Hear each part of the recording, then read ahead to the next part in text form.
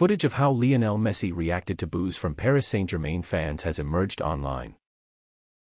Messi was subjected to boos from the fan base of the club prior to another home defeat in the French top flight on Sunday evening.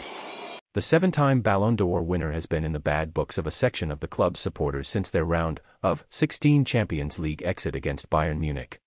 According to the fans, Leo Messi does not give off his best when he turns up for Les Parisians as compared to his performance for his home country, Argentina.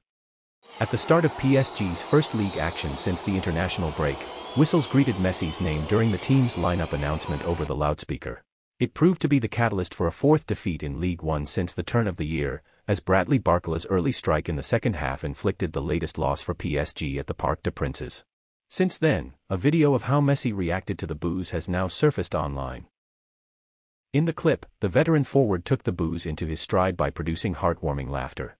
Meanwhile, the club is racing against time to tie Messi to a contract extension with his current deal running out this summer, prompting keen interest from a variety of suitors.